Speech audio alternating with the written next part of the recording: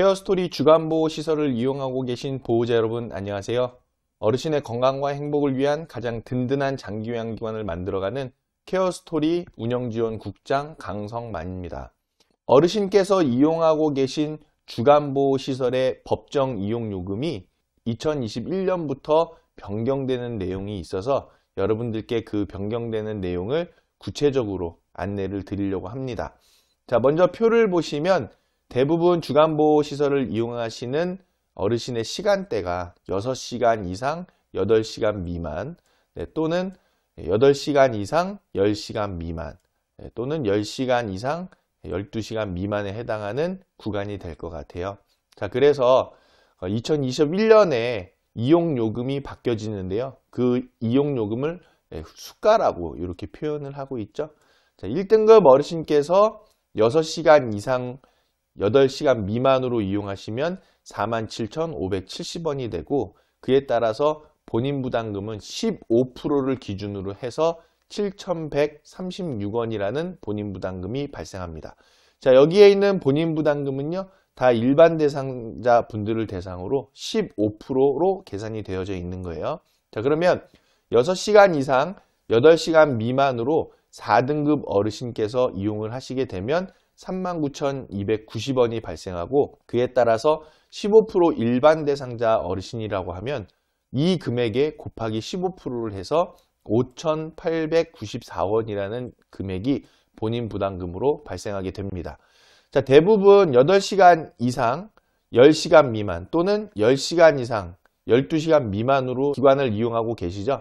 그래서 만약에 어르신께서 8시간 이상 10시간 미만으로 4등급 어르신이라고 하면 수가는 49,220원이 되고 그에 따라서 15% 본인 부담료를 가지고 계신 어르신이라고 하면 7,383원이 본인 부담금으로 발생하게 됩니다.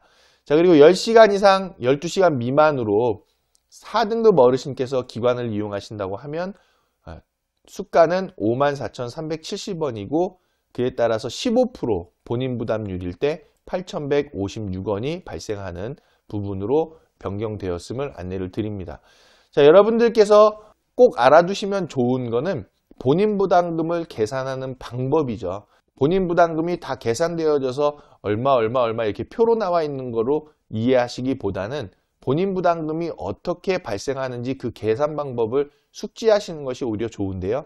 그 방법을 한번 안내를 드리면 먼저 본인 부담금이라는 것은 수가, 네, 즉 이용 시간별로 법정 정해져 있는 총 이용 금액이 되는 거죠. 즉 하루에 6시간 이상 8시간 미만으로 이용했을 때 1일 시간별 이용 금액이다 라고 이해하시면 될 거예요. 그래서 이용하신 시간에 맞춰서 수가를 네, 본인 부담률로 곱해 주시는데 어르신마다 본인 부담률이 다르죠. 7%, 9%, 15% 이렇게 해당하는 본인 부담률이 있습니다. 아, 어르신 본인 부담률만큼 수가에다 곱해 주시고 그리고 기관을 이용하신 일수로 곱해 주시면 바로 본인 부담금이 계산이 됩니다.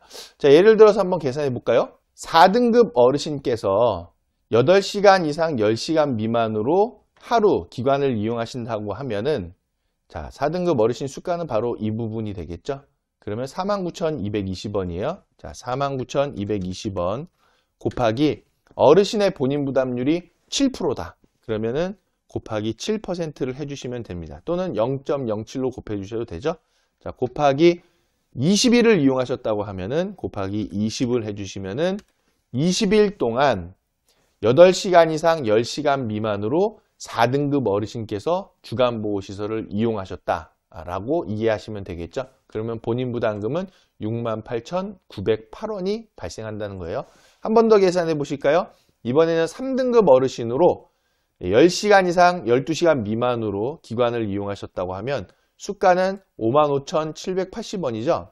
자 그러면 55,780원 곱하기 본인 부담률이 15%이신 어르신이다. 그러면 곱하기 0.15 또는 15%를 해주시고 기관을 16일간 이용하셨다고 하면 곱하기 16일이 됩니다. 자 그렇게 하시면 본인 부담금은 13만 3,872원이 그달 본인 부담금 합계액으로 보호자분들께 청구가 될 겁니다.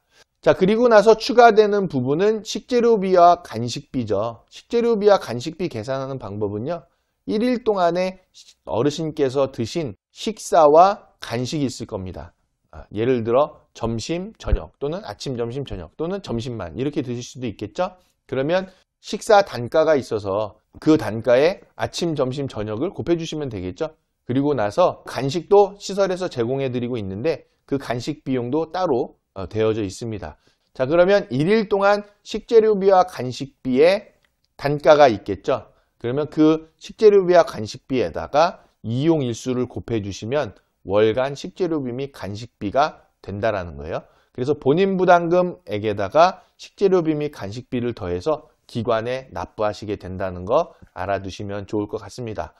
자, 본인 부담금과 식재료비 및 간식비를 계산하는 데 있어서 혹시라도 궁금하신 사안이 있으시면 이용하고 계신 저희 케어스토리 주간보호시설로 연락을 주시면 담당자분께서 친절하고 구체적으로 쉽게 이해하실 수 있게끔 안내해 드리니까요. 궁금하신 사안이 있으실 때는 주저하지 마시고 이용하고 계신 주간보호시설로 연락해 주시기를 부탁을 드리겠습니다. 항상 어르신의 건강과 행복을 위한 가장 든든한 케어스토리 주간보호시설이 되도록 앞으로도 더욱더 최선을 다해 노력하겠습니다. 감사합니다.